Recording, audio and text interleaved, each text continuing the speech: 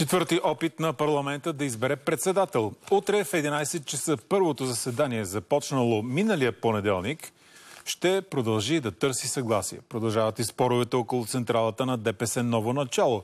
Отношение взе и президентът. Всичко от Добромир Николов и Гергана Венкова. Първо към Добромир.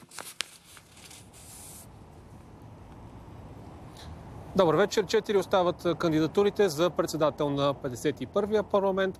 Рая Назарян от ГЕРБ СДС, Наталя Киселова от БСП, Обединена левица, Петър Петров от Възраждане, както и Силви Кирилов от Има такъв народ.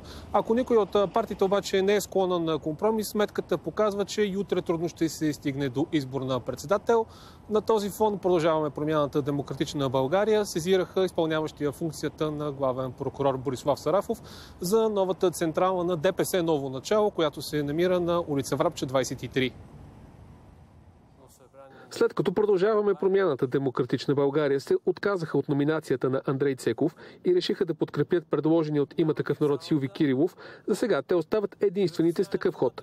ГЕРБ не променят позицията си. Начало на депутатите трябва отново да е Рая Назарян.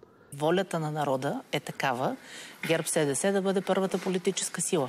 Тук не става въпрос за политически инат. И предупреждават, че различен председател от Назарян ще прати страната на 8 избори. Ние не можем да избираме председател на Народното събрание по възраст. Ако бъде избран Силви Кирилов, това означава избори. Продължаваме промяната Демократична България. Отново призоваха за отстъпки от останалите формации, за да се избере председател.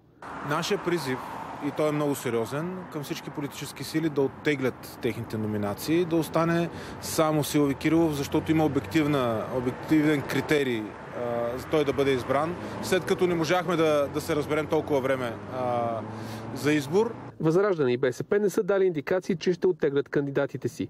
Под въпрос е как ще гласуват ДПС Ново начало, Алиансът за права и свободи, както и МЕЧ. Извън парламента, ППДБ погледнаха към друга сграда – новата централа на ДПС Ново начало на Врабче 23. Те поискаха Борислав Сарафов да не допусне формацията да се настани там. И как се случва така, само за една седмица, в купом, в рамките на един ден, с предварително подготвени документи, да се съберат подписи, за да може всички тези институции да се откажат от ползването на тези сгради, без да имат альтернатива къде да бъдат настанени.